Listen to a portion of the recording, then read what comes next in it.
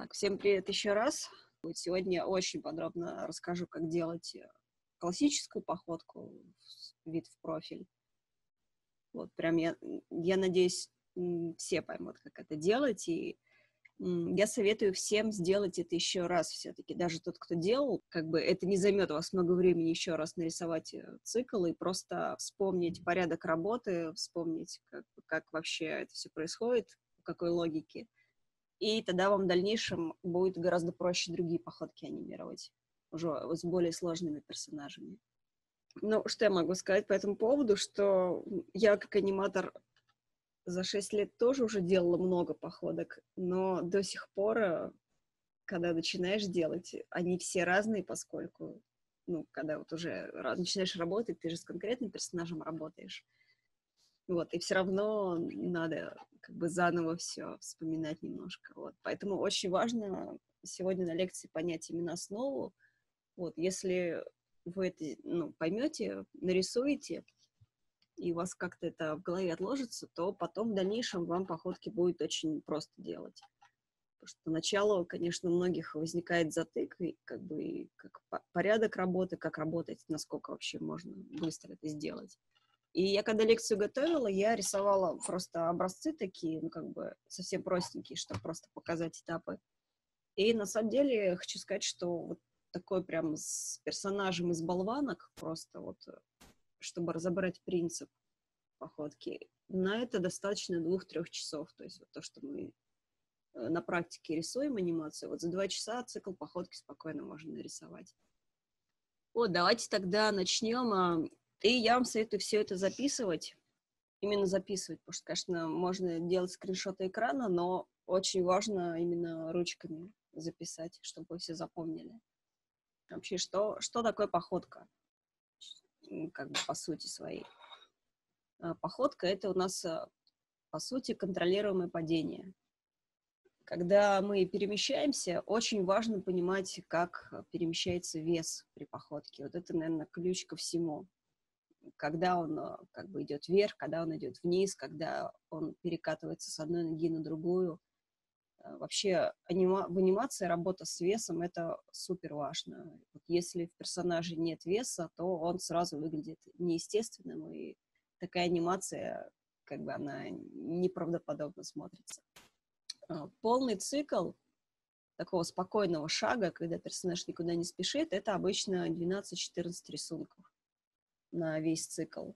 Это, ну, как бы полностью включая оба шага двумя ногами это уже зависит от скорости, с какой персонаж идет. То есть, если это более быстрая походка, там может быть даже и 10 рисунков. Если более спокойные, то может быть до 16. Но как в среднем, вот скорость, с которой мы ходим, это 12-14 рисунков. И при этом всего 4 из них будут основными. То есть с помощью всего четырех рисунков э, мы делаем цикл походки. И как бы это совсем немного. Просто надо понять, что именно это за ключи. Давайте их зарисуем уже подробнее себе. Э, первый ключ, с которого мы начинаем, это ключ контакта. При контакте у нас обе ноги стоят на земле, ну, собственно, поэтому он называется ключом контакта. Э, та нога, которая спереди, она стоит на пятке, а задняя нога, она стоит на мысочке.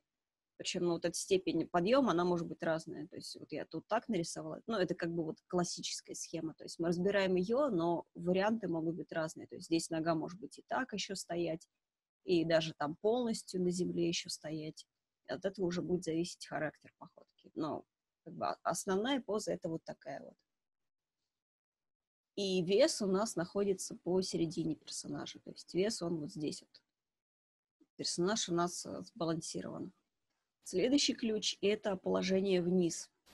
После контакта у нас персонаж, поскольку он движется вперед, у него вот эта нога, она коснулась земли, и в следующем ключе на нее падает вес всего тела. Вот на эту ногу. Вот это очень важно понимать. Именно поэтому на этой фазе персонаж проседает вниз, потому что здесь его вес как бы падает сюда. И он уже стоит, по сути, на одной ноге. То есть задний у нас отрывается от земли, и все вот сюда вот получается, все туловище. По амплитуде он движется вниз, И, ну, вот когда еще будете делать походку, обязательно вот рисуйте вот эту линию, на которой у вас идут ноги, и линия, на которой у вас э, голова движется. То есть, чтобы вы относительно нее очень четко понимали, что на контакте она касается, на положении вниз она ниже этой линии. Следующая поза – это поза проноса, pacing pose. Здесь персонаж начинает амортизировать после вот этого падения вниз и поднимается, по сути, на ту же высоту, что и при контакте. То есть, видите, по высоте эти позы, они практически одинаковые, ну, как бы в классическом цикле. То есть в характерной походке там уже могут быть варианты. Но по классике на той же высоте pacing pose. Одна нога при этом у него, вот, которая была сзади, она проносится вперед. То есть если вот на этом кадре она еще позади визуально, то тут она уже визуально становится впереди. А вот ближняя к нам нога, она, наоборот, смещается туда, по панораме в этот момент. И, как бы, что еще важно, и на позе, которая вниз, на down, и на passing pose, персонаж полностью стоит на всей стопе потому что он стоит, как бы здесь у него вес все время на одну ногу приходится, вторая в воздухе. Поэтому, чтобы быть устойчивым, он опирается полностью на ногу. И следующий ключ – это положение верхнее, up. Что здесь происходит? Вот здесь как раз у нас идет потеря баланса у персонажа. То есть здесь он двигается вперед, и у него как бы он начинает заваливаться после вот этой проноса. То есть здесь вес еще посередине, но он уже смещается вот вперед. И вот на, этой, на этом ключе вес у нас, по сути, вот где. Вот тут. Ну, как бы вот по центру массы, но нога у нас уже проехала назад, и получается, что персонаж у нас падает в этом ключе.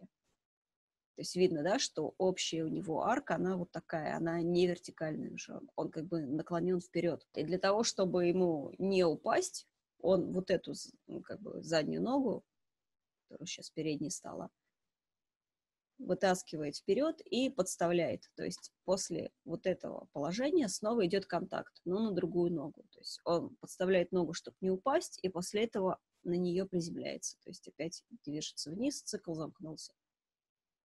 И вот это для себя очень важно понять, как вообще это происходит. Вот если вы логику вот эту усвоите, то походку очень легко будет рисовать любую. Именно как вес перемещается. Что еще важно на положении верхнем? А, на всех этих трех фазах, ну вот кроме, пожалуй, контакта, здесь вот здесь нога, которая а, идет вперед, выносится, она тоже немножко такая в стрейче, то есть она не согнута. Задняя может быть немножко согнута.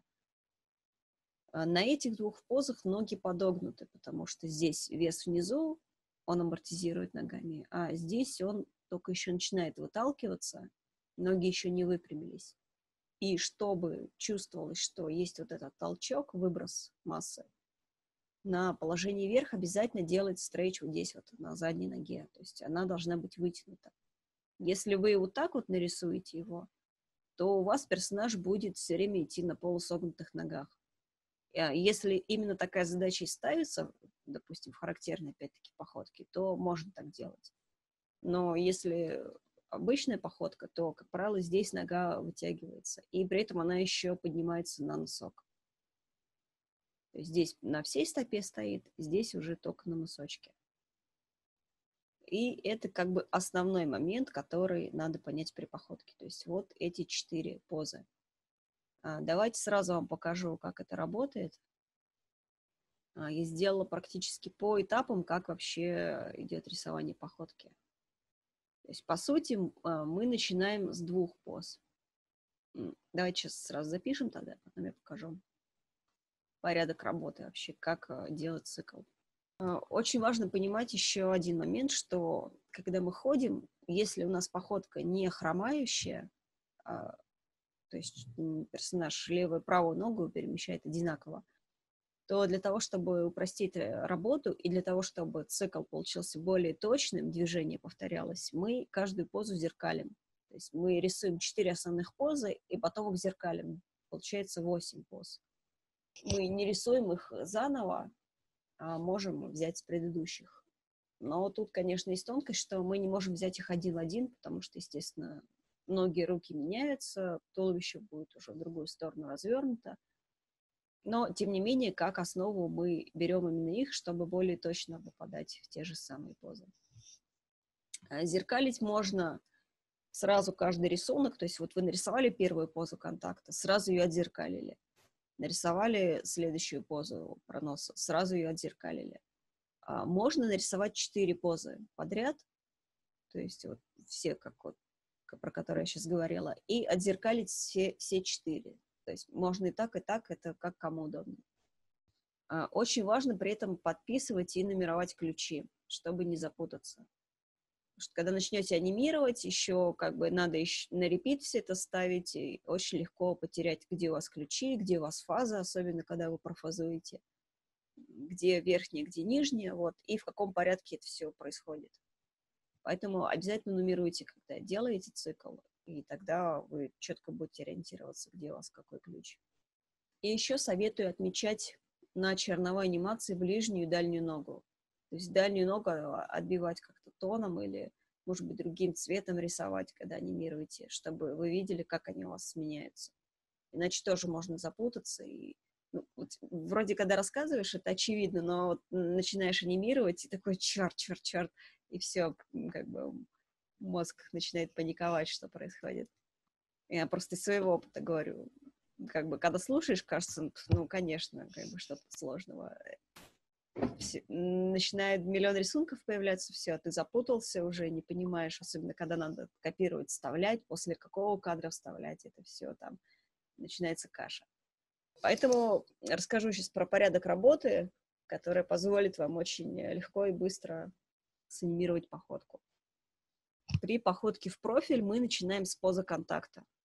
Это когда обе ноги стоят на земле, то есть вот такое вот положение, как на этом тамнейле. После этого мы рисуем позу проноса, третью.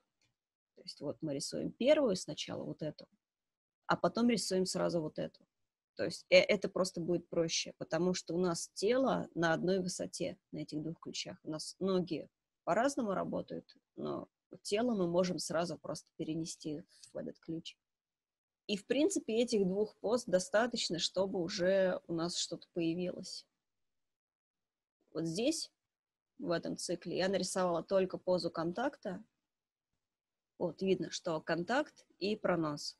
Туловище на одной высоте. Можно скопировать, можно просто по лайн-тесту еще раз обвести, чтобы ну, более живой рисунок смотрелся ну, на черновой анимации это не принципиально, а как бы на прорисовке уже, конечно, лучше руками каждый кадр делать.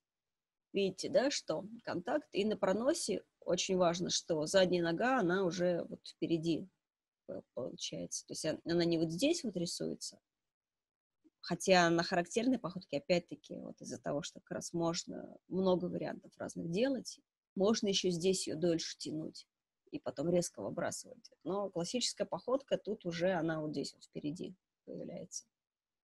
То есть вот такие вот два рисунка. В принципе, уже какое-то подобие походки у нас появляется. Всего два рисунка. То есть ноги у нас подобраны, ноги в разные стороны. Уже появляется движение.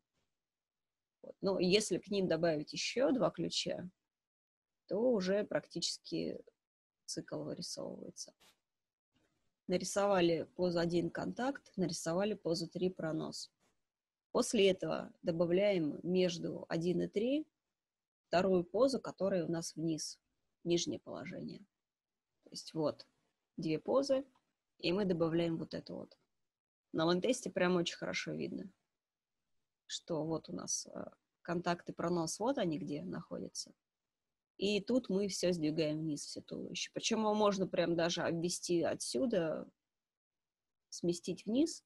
И что происходит с ногами? Вот эта нога у нас здесь, где она касалась, она смещается назад уже. То есть как только идет контакт с землей, ноги начинают смещаться по панораме. Они не могут на одном месте оставаться, иначе застрянет персонаж. И задняя нога у нас отрывается от земли. При этом она может отрываться, допустим, где-то здесь, то есть больше тянуть ее можно, что здесь носок как бы был вот здесь, он еще продолжает назад двигаться. А можно уже начать ее тащить вперед. То есть видно, что она уже вперед пошла здесь. Нижняя поза и поза проноса, которая у нас уже готова. Следующим этапом мы рисуем последнюю позу из этих четырех между третьей и первой, то есть замыкая как бы цикл, мы рисуем четвертую позу там, где персонаж двигается вверх, в верхнее положение. В Paint вот для того, чтобы цикл удобно было анимировать, вот здесь вот есть стрелочки, и нужно поставить repeat и в начале, и в конце. Тогда он будет повторять автоматически все, что вы нарисовали, и когда вы выбираете последний кадр, то на лайн-тесте будет показываться первый. То есть вы легко можете фазовать между первым и последним, не копируя вот этот кадр сюда в конец, чтобы не застревал у вас в конце цикла. И даже вот я когда тащу по таймлайну, видно, что он просто повторяет кадры. Хотя их тут нет уже. Вот верхнее положение. Здесь как раз эта нога ближняя к нам продолжает смещаться назад, поднимается на носок персонаж двигается вверх. Видно, что вот эта линия, он выше нее уже находится, его туловище. И передняя нога выбрасывается еще больше вперед, поднимается. Тут тоже можно варианты, можно ее рисовать и вот так, допустим, можно рисовать вот так, вот это будет тогда типа такой более маршевый такой походка. Но важно понимать сам принцип, что тут все движется вверх, и Задняя нога дает толчок всему туловищу. А передняя готовится к тому, что в следующем кадре персонаж ставит ее на землю. Вот, и если сейчас запустить, всего 4 кадра, но уже появляется походка. Причем они даже не отзеркалены, они просто повторяются, но у нас все равно мозг, наверное, у многих сейчас у вас достраивает, что это разные ноги вперед он выбрасывает, хотя это одна и та же нога. То есть он просто дрыгается в какой-то момент.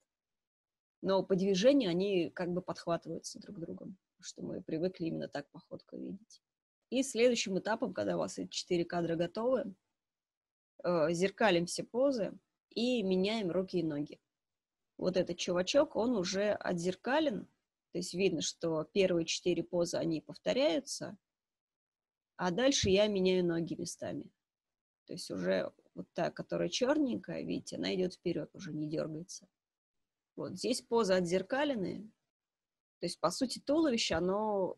Я его полностью зеркалила, поскольку это простой персонаж. Только ноги поменяла, чтобы они протаскивались полностью. И уже приятнее походка становится. Дальше.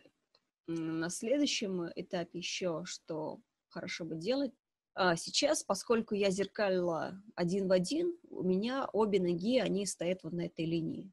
Но лучше, если вы немножко сдаете перспективу. То есть ближняя нога, она идет на этой линии, а задняя как бы чуть-чуть вот туда вот уходит, на более дальней линии. То есть представим, что если у нас перспективная сетка, то как бы если вид свер... спереди мы же стоим вот так, вот мы не стоим вот в одну линию у нас ноги. Хотя можно и такую походку рисовать, но, как правило, у нас есть некое расстояние между ногами. И когда мы смотрим сбоку, это, соответственно, уходит в глубину немножко дальняя нога.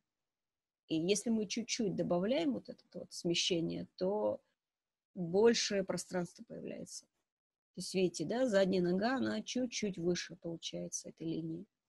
И тут надо уже рисунки немножко поправить. То есть видно, что было так, стало так. То есть, допустим, на этом рисунке надо ее немножко подтереть, там, может быть, колено чуть-чуть по-другому согнуть. То есть тут уже начинаются такие мелкие правки, чтобы у нас каждый рисунок выглядел адекватно. Ну и следующим этапом добавляем руки. Давайте теперь про руки немножко поговорим.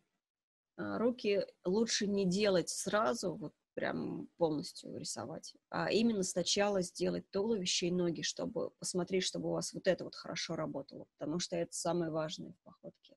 Если с этим все в порядке, уже начинаем тогда дальше рисовать детали. Руки тоже лучше начинать с позы контакта рисовать, то есть вот с этой самой первой.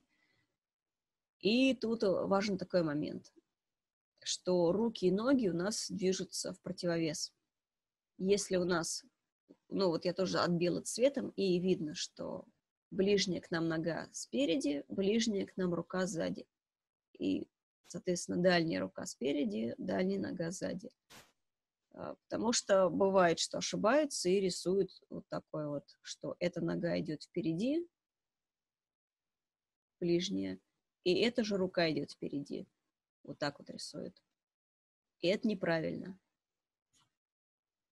Потому что идет перехлест и скручивание тела. Э, это нужно для того, чтобы мы лучше держали баланс. Если мы вот будем с одного бока и руку, и ногу вперед выбрасывать, то просто начнем закручивать. И поскольку мы ногу выбрасываем, как бы рукой мы компенсируем в другую сторону, двигаем верхнюю часть тела, чтобы вот это вот как бы скручивание, но сбалансировало нас, иначе просто будет разворачивать вокруг своей оси. Особенно, когда импульс уже более сильный.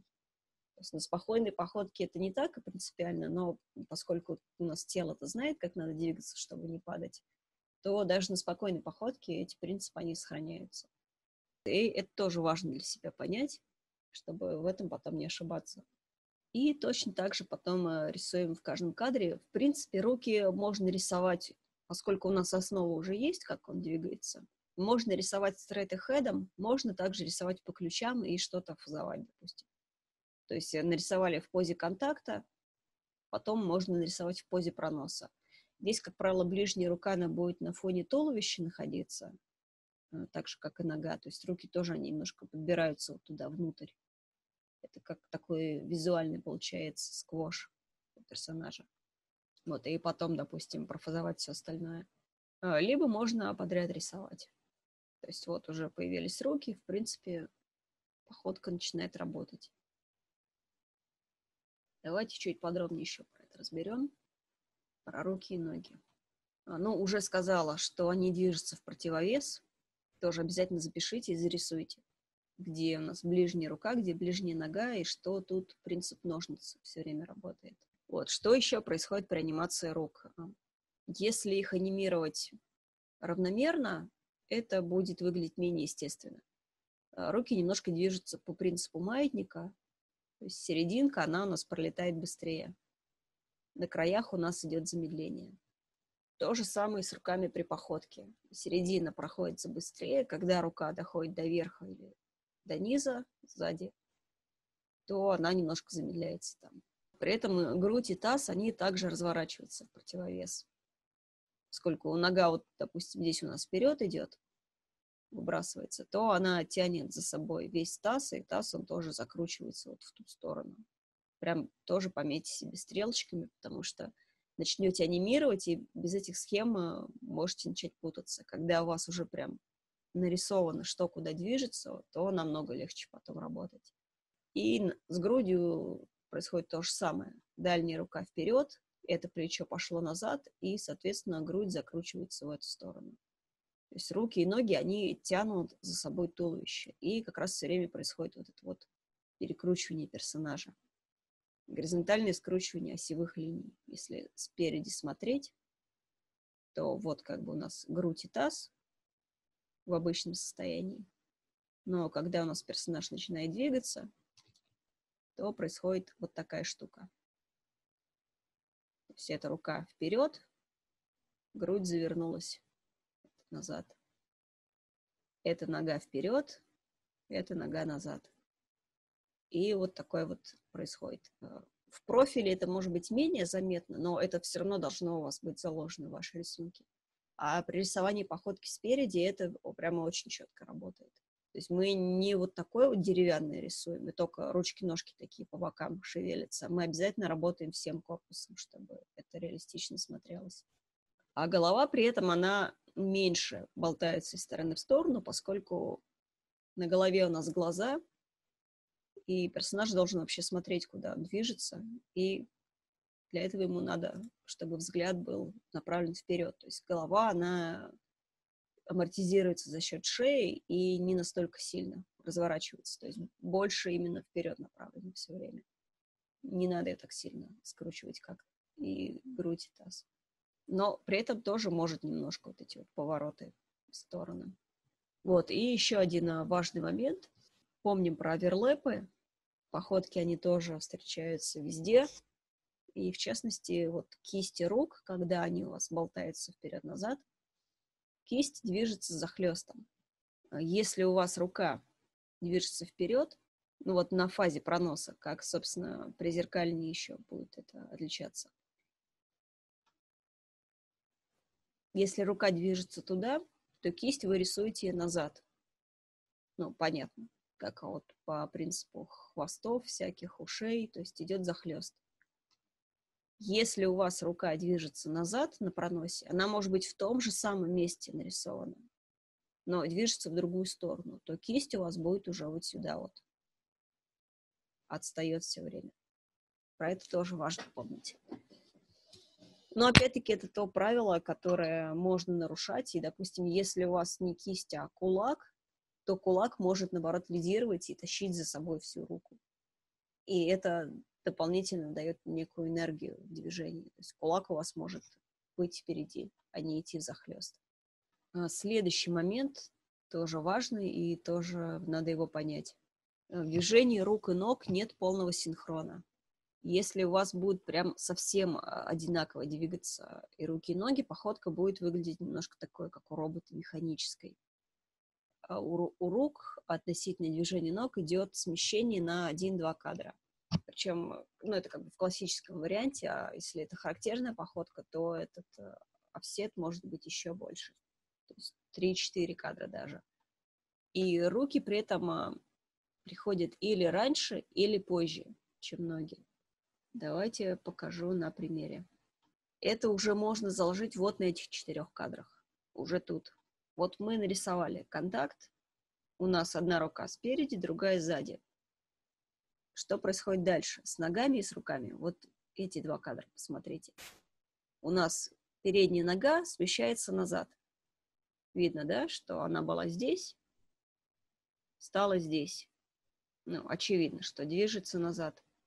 Задняя нога, наоборот, она была здесь, стала здесь, движется вперед. Что происходит с руками? У нас передняя рука, она все еще доходит вперед. То есть нога уже движется назад, а рука все еще идет вверх туда. Она заканчивает вот это движение. То есть, по сути, вот это вот на контакте, это не крайняя поза. Крайняя поза, она вот здесь вот будет, на положении внизу. То есть только здесь вот рука дошла до верха. То же самое с задней рукой. Видите, она еще доходит вот туда, уже на таких маленьких диапазонах, как бы дотягивается. А ноги, они уже начинают в другую сторону двигаться. Руки еще доигрывают. Я надеюсь, это понятно, что вот этот момент, который, ну, лично я сама, он меня долго доходил. Потому что вот на этом кадре хочется, что как бы нога пошла назад, ну и рука уже такая пошла вниз, вот сюда вот. А это сюда пошла. Вот такое нарисовать хочется. Но если так сделать, это будет хуже смотреться на походке. Руки немножко, они отстают. И то же самое вот здесь вот. Видите, доходит еще немножко. То есть вот когда поза зеркалится, то же самое на позе контакта она уже почти вроде бы пришла, вот кажется, что все. Но нет, она потом еще дожимается немножко. И за счет этого, видите, идет небольшой рассинхрон. Причем он э, настолько небольшой и выглядит настолько естественно, что мы даже его не считываем. То есть мы когда смотрим, нам кажется, что просто все в порядке. Он идет нормально, машет руками. Но тут заложено вот это вот смещение. И если его не делать, он будет как робот, все у него будет одинаково шевелиться. А так он движется уже именно как человек, как более живой персонаж. А, Причем на характерной походке вот эти захлесты рук их можно делать прямо еще дальше, то есть туда уже в перспективу куда-то уводить. И тут можно работать как э, самой рукой, то есть вот э, плечо, предплечье, так и кулаком еще доигрывать или кистью. Э, сами позы, которые вы рисуете, они тоже могут отличаться. Но важно понимать именно принцип, что на позе, где персонаж идет вниз, руки еще идут вверх. А вот этот момент еще запишите, что вперед рука доходит позже. Вот в самих рисунках это уже тоже надо немножко закладывать. А назад рука может приходить раньше. А, от того, как вы рисуете вот это вот э, смещение, тоже зависит э, и характер персонажа, и энергия, с которой он идет. Он может махать руками быстрее, чем ногами, и тогда будет больше энергии походки. либо у него руки могут висеть как плети и как бы вообще еле там добалтываться с большим таким отставанием прям. Тогда это будет такое вялое движение, такая уставшая походка. То есть благодаря этому тоже можно обыгрывать характер. И когда будете анимировать, прям обязательно это себе как-то проследить, чтобы вы поняли, как это работает. Так, давайте вернемся к порядку работы. Руки мы нарисовали, будем считать. Следующий этап – это фазовать. Потому что вот когда вы отзеркалили 4 позы, у вас получается 8 рисунков. А, в принципе, этого достаточно, чтобы самая простая походка уже получилась. То есть, может быть, в играх так делают или еще где-то, где надо просто показать условно, что персонаж идет. Вот. Но в хорошей анимационной походке надо бы еще добавить несколько фаз, чтобы обыграть немножко эти позы.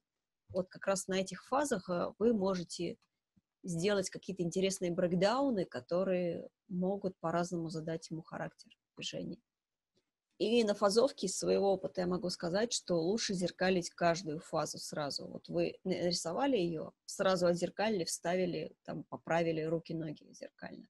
Нарисовали следующую, сразу отзеркалили чтобы вы помнили вот этот рисунок, который вы только что сделали, куда вы его вставили, после какого кадра, и тогда будет проще не запутаться с этим. Давайте тоже посмотрим. Следующий чувачок. Я то же самое все повторяю вот с этих первых пост, просто добавляю по этапам. И на таймлайне видно, что тут вот добавилось еще 4 кадра, то есть я еще 4 фазы сделала. Я добавила фазу после проноса, видите, не подписанная она. Вот здесь добавила фазу. И после верхнего положения добавила фазу.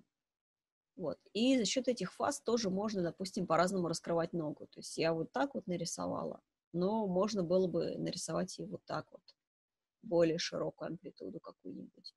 Либо больше, допустим, подогнуть колено, вот так нарисовать. Или стопу в другую сторону. И как бы тогда это уже такая более крадущаяся походка получается.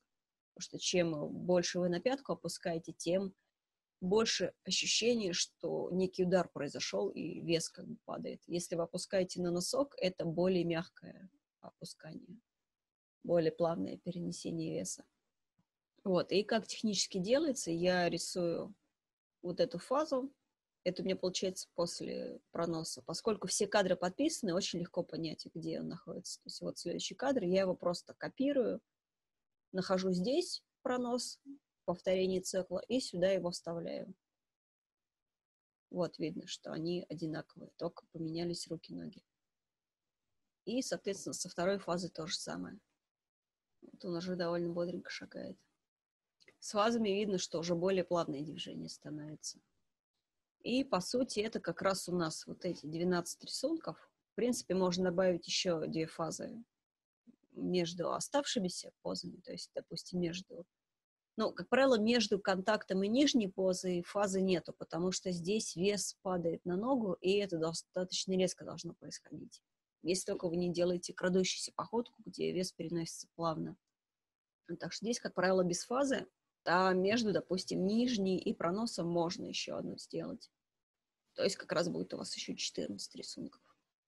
Но обычно фазу вставляют вот после проноса, вот здесь вот, и между верхней контактом чтобы вот это зависание, оно длилось чуть дольше, чтобы он не сразу падал. Вот, и именно такой цикл, он выглядит наиболее естественно.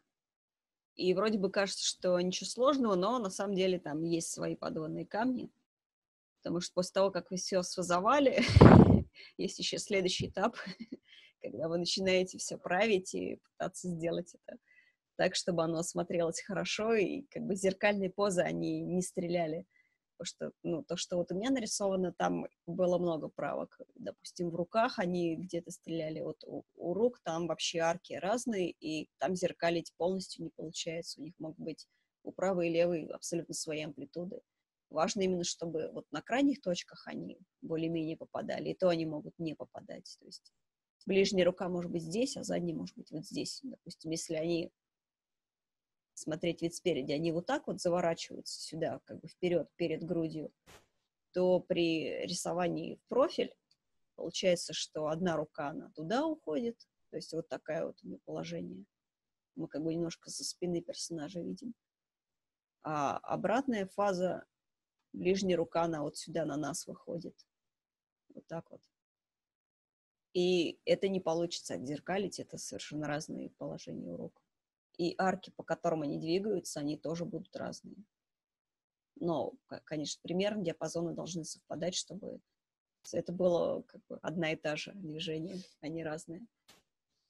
Вот, и после того, как вы все поправили, понервничали, поругались, то тадам, походка у вас будет готова. И чем больше вы походок сделаете, тем вот этот вот э, этап, он у вас будет более легко и безболезненно проходить. Что ж, надеюсь, это видео было вам полезным. Если понравилось, э, подписывайтесь, ставьте лайки и заходите в паблик ВКонтакте, там еще больше всяких материалов и картиночек.